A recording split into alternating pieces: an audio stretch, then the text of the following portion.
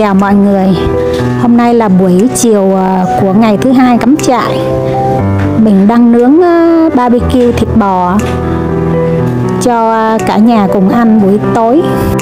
Mình ướp thịt bò với sốt barbecue Với bột tỏi, Rồi nướng với lại hành tây, Với lại nấm tươi, Với lại ớt chuông.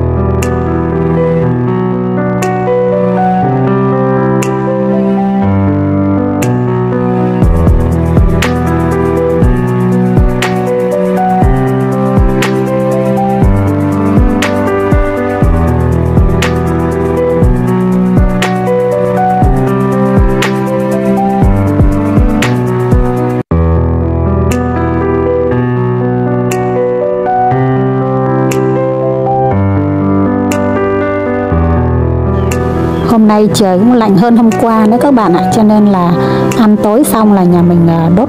Vẫn à, duy trì cái đống lửa mà hôm nay là chồng mình đốt lửa tới sáng luôn ấy cho nên là chuẩn bị nhiều gỗ lắm. Cái hơi lửa ấm như thế này này vừa thú vị mà vừa để giữ ấm người đó các bạn.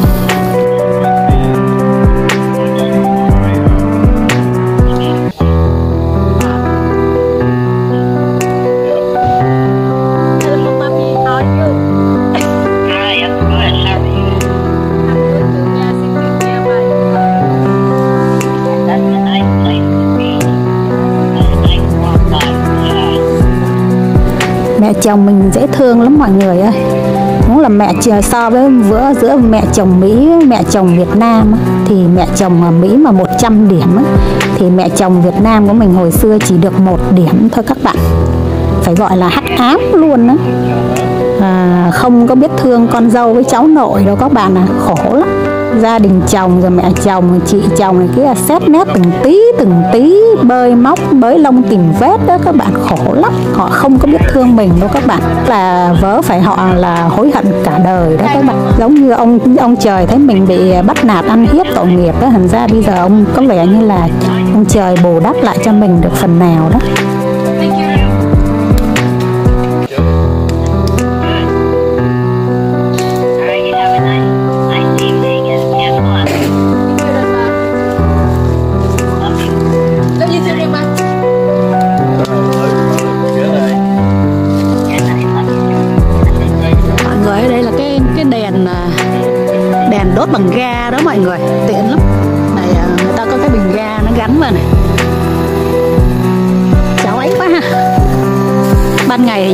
Được nhưng ban ngày không có đốt đèn. Lấy cái bình ga gắn vào vậy, đi cắm trại người ta xài này, nó sáng lắm các bạn.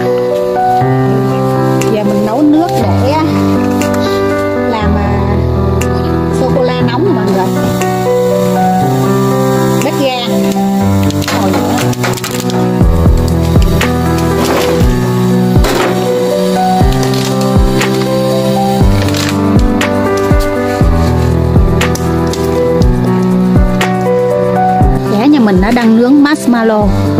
Này, mấy trẻ em Mỹ nó hay ăn kiểu vậy lúc ờ, đốt lửa này kia vào dịp ờ, cuối năm giao thừa hoặc là đi cắm trại đốt lửa là nó, người ta, cái cây đấy người ta bán trong cái chỗ mà khu ờ, bán dụng cụ đi cắm trại á. Xong rồi, cái kẹo marshmallow bỏ vô nướng như vậy xong ăn. Có vài bạn á nhắn tin hỏi mình là lý do làm làm sao mà vợ chồng mình ờ, chia tay. Cái cái kết hôn đầu tiên của mình thì ờ, nó có nhiều nguyên nhân lắm các bạn gộp lại. Thì mình ờ, kể à, ví dụ vài cái vài cái nguyên nhân nó dẫn tới nha. Thì các bạn thấy xem là liệu như vậy thì nếu mà đó là cái mối hôn nhân của các bạn thì các bạn có thể duy trì nổi hay không? Chứ mình là mình thấy à, quá chán là mình buông luôn đó các bạn. Cái nguyên nhân thứ nhất đó là về phía người chồng của mình. Thì à, bố mẹ chồng mình à bố mẹ vợ mình chứ, tức là bố mẹ ruột mình thỉnh thoảng có mời hai vợ chồng xuống nhà ăn cơm, đãi à, cho ăn món này món kia. Nhưng mà chồng mình chở vợ về là đi ngang qua chợ này kia nhiều lắm mà cũng không đả động tới cái chuyện là nhắc vợ là vợ ơi. Đi xuống như vậy thì mua tí ờ, đồng quà tấm bánh gì ờ, cho ông bà suy ra là cho bố mẹ mình hết chỉ vác cái miệng xuống ăn thôi các bạn ạ. Mà mình mình không dám đề nghị mua gì hết á bởi vì chồng mình rất cặn kẽ về tiền bạc các bạn ạ. Chi tiêu cái gì một hai ngàn đồng thì cũng phải ghi vô sổ. À, mình thấy nó cực lòng quá đi. Cho nên mình à, à, chia hẳn ra luôn á. Là thí dụ mỗi vợ chồng mỗi tháng á, tiêu vặt bao nhiêu tiền thì chia hẳn ra như vậy rồi cứ gói gọn như vậy mà tự xài rồi à, chứ không có phải ghi vô từng đồng từng đồng nữa. Mà tới hồi chia ra xong rồi á thì ai xài phần à, tiền của người cái cái khoản tiền của người đấy thôi thì thỉnh thoảng chồng mình lại hỏi nữa thế khoản tiền đó em xài những cái gì rồi? Mình thấy nó cực lòng quá các bạn ạ. Đã ước lượng là một tháng à, vợ chồng xài bao nhiêu vợ xài bao nhiêu thì uh, chia ra như vậy mà xài mà mình xài cũng tiết kiệm không có dám xài gì hết đó các bạn. Mà thấy sao mà nó cực lòng quá. Đó là cái nguyên nhân thứ nhất. Cái nguyên nhân nữa là khi mới nhau lấy nhau về thì chồng mình đã xây có căn nhà rồi. Thì đồng một cái chồng mình bảo mình là là ở bên dì ruột của chồng mình gần 100 triệu đồng. Hồi đó 100 triệu đồng cũng lớn nha các bạn. Tại cũng là mười mấy năm về trước rồi. Mình cũng táo hỏa và sau hồi xưa giờ em hỏi anh cái gì có nợ nần gì hay là gì không thì anh không nói và bây giờ anh lại nói. Thế rồi à, ông bảo là cái gì đấy bây giờ cần tiền đòi đòi gấp lắm. Thành ra là hai vợ chồng phải xoay sở. Thế vừa cưới nhau xong á thì ờ, đâu hai vợ chồng đâu có còn tiền gì đâu. Thế là hai vợ chồng cùng ký tên đi vay ngân hàng. Rồi mỗi tháng hai vợ chồng góp tiền vô mà trả. Để lấy cái tiền đấy đi trả nợ cho cái người gì đấy đó các bạn. Đấy, mà cái nhà đấy thì lại là danh nghĩa đứng tên chồng mình tại xây trước khi kết hôn mà. Trong khi mình cũng phải cùng chung trả nợ. Thì mình coi như cũng im, mình cho qua cái chuyện đấy. Thế rồi hả, mẹ chồng mình xuống thăm lúc đó là xuống thăm thì bảo là khi nào mà con mà xanh á là báo cho mẹ liền mẹ sẽ xách giỏ xuống liền. Thì à, mình à, nghĩ trong lòng là trời mình may mắn quá mẹ chồng mình sao mà quan tâm tới mình quá.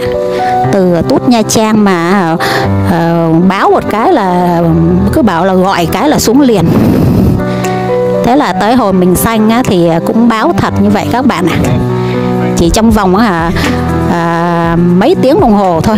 Tức là 3 giờ khoảng 4 giờ kém 15 là mình xanh bé ra là khoảng đâu à, tối tối á, là bà đã có mặt ở trên bệnh viện gặp mình ở phòng mình thì lúc đó là cũng có bố mẹ mình ở trên ờ, trên cái phòng đấy.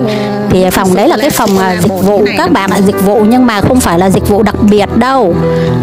Dịch vụ thì cũng 10 10 bà đẻ ở chung một phòng cơ chứ không phải là được một, hai người ở chung một phòng đâu, tức là cũng bình thường thôi.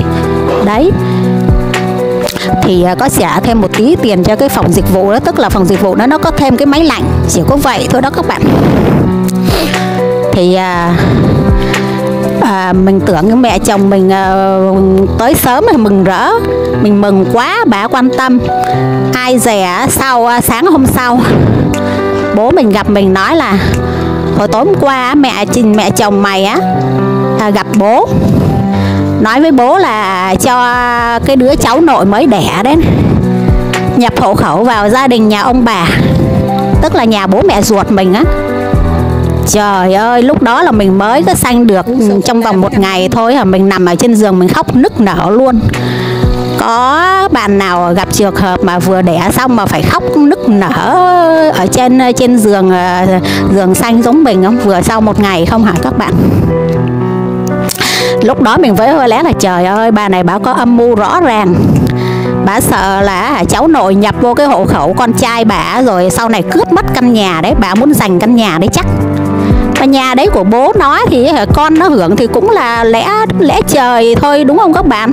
Hoặc là cũng theo luật pháp người ta cũng công nhận thế thôi mà bà âm mưu bà làm như vậy đó các bạn. Thì các bạn liệu có chịu nổi không trong khi là bạn lại vừa với chồng bạn là ký giấy nợ vay ngân hàng để trả nợ xây cái căn nhà đó? Thì hả nói thật chứ lúc đó mà mình không bị tức mà hậu sản mà mình chết ngay tại trên cái giường xanh á, là đã là may mắn lắm rồi đó các bạn rồi tới phần là bố chồng mình. Cái nhà mà chồng vợ chồng mình ở thì à, nó không có hề có một cái cây nào hết nắng nóng lắm mọi người. Cho nên là bố chồng mình xuống thăm à, mình cứ nói là cây à, cây cối à, cái nhà này nắng quá. À, cho nên là mình à, tính là mua vài cái cây ấy à, để ở trên sân thượng ấy, cho nó bớt nắng cái sân thượng chứ không thì à, nắng cháy da cháy thịt luôn. Thế là cho bố chồng mình phột và nói vợ chồng con mà muốn à, à, mua cây cối trồng trong nhà này kia đó thì phải à, trước khi làm là phải hỏi gọi điện hỏi ý kiến à, ba má cái nhà cái mình cũng nói dạ nhưng mà mình nghĩ trong lòng trời sao ở nhà của chồng mình mà sao bố chồng mình can thiệp dữ vậy mà ông bà ở tút nha trang trong khi vợ chồng mình ở bên sài gòn? Thế là mình dạ cho tới bây giờ mình chưa mua một cái cây nào cho cái căn nhà đấy hết á các bạn. Còn bà chị chồng mình thì có lần khoe với mình là hồi xưa xây căn nhà đấy đấy là trước khi xây căn nhà là chồng mình á đi làm là cứ mỗi tháng ví dụ để dành được một cây á thì bố chồng mình á lại phải góp vào đấy khoảng chừng hai ba chỉ gì đó cho mua cho đủ một cây và để dành à, à, cho tên chồng mình để sau này xây căn nhà đấy đấy. Thì tính ra là ý là cái căn nhà cũng có cái phần của gia đình chồng mình trong đấy đấy mình hiểu cái ý bà muốn ám chỉ là như vậy đấy. Thì mình đem cái chuyện đó mình hỏi chồng mình là có đúng là bố chồng anh á? À tức là bố anh á. Có phải là mỗi lần anh để dành được một cây mỗi tháng được một cây như vậy ấy, thì à, một cây vàng đó các bạn? Thì à, bố chồng lại góp lại hai ba chỉ ở trong đấy đúng không? Thì chồng mình bảo là không nhớ cái chuyện quan trọng này mà mà các bạn nghe cái chữ không nhớ thì các bạn đánh giá là nó có thật hay không rồi đúng không các bạn? Chuyện đó quá quan trọng và đó là chuyện lớn mà. Như vậy thì các bạn thấy là gia đình nhà chồng mình có âm mưu gì thì các bạn biết rồi ha. Quay lại cái vấn đề mà nằm phòng dịch vụ khi sanh của mình thì tổng cộng tính ra mình chỉ trả thêm tiền túi á, trả thêm chừng ờ, hơn một triệu đồng thôi còn lại là tiền của bảo hiểm xã hội. Người ta chi trả hết, do mình có làm việc mà. Mà và mà mẹ chồng mình cũng thấy sót các bạn ạ. Mà tiền là tiền của mình, chứ mình cũng không có xài vô tiền của chồng mình nữa các bạn. Vậy mẹ chồng mình á, nói với mình như thế này này. Các bạn nghe thì có thấy ổn không? Mẹ chồng mình bảo rằng là hàng xóm của mẹ chồng mình ở bên nha trang á cái cái cái chị đấy chị lấy ông chồng nghèo quá mà xanh mà phải ờ, mổ cấp cứu mà từ cái bệnh viện quận, huyện á. Mà mổ phải tốn tiền, mà không có tiền, chồng không có tiền, thế là phải trở về cái cái trạm xá ở dưới dưới xã để đẻ. Mà đẻ xong rồi thì hả, nuôi con bằng sữa mẹ không tốn đồng nào các bạn ạ. Bà kể như vậy đó bởi vì là các bạn biết sao sau cái cú xì chết mà mình nằm khóc ở trên cái cái giường ờ, xanh sau một ngày mà do mẹ chồng mình gây ra đó, là mình bị xì chết và mình tắc sữa luôn khoảng ờ, gần 2 tháng sau mình mới có sữa lại cho cháu, cho con mình nó bú. Mà cũng được ít lắm, cho nên phải mua sữa dặm cho bé nó uống, cho nên là là tốn tiền sữa cho cháu đấy cho nên là bà nói cái kiểu như vậy bà bà nói thẳng mặt mình như vậy đó công nhận cái bà già chồng này gan lắm. Cái chuyện gì bà cũng dám nói bốc thẳng mặt con dâu hết các bạn ạ. À. gan lắm. Không có sợ mít lòng con dâu hay là gì hết đó các bạn. Thì mình mới có nói lại với mẹ chồng mình là mẹ ơi tiền sữa cho con tiền tã cho con tiền cái phòng dịch vụ hồi con ở à, xanh đấy. Cũng toàn là tiền của con bỏ ra chứ không phải tiền của chồng con đâu mẹ rồi à, có lần mình hỏi chồng mình là cái chuyện mà cho con con gái mà con gái mình mà đi nhập hộ khẩu về nhà ông bà ngoại á, thì à, bố mẹ chồng mình có bàn với chồng mình trước khi à, nói chuyện với với bố ruột của mình không thì chồng mình bảo chồng mình không biết chuyện đó. Ông ông bà nhạc tức là bố mẹ của chồng mình á, tự tính toán tự dàn xếp cái chuyện đó như vậy đấy không qua mặt luôn vợ chồng mình luôn đó các bạn. Thì các bạn thấy là những con người mà có tính cách như vậy á thì rồi chuyện gì hậu quả nó như thế nào nó xảy ra thì các bạn cũng đoán được rồi đúng không các bạn? Thì mình xin dừng video tại đây nhé. Xin uh, chào tạm biệt mọi người và hẹn gặp lại mọi người vào những video tiếp theo.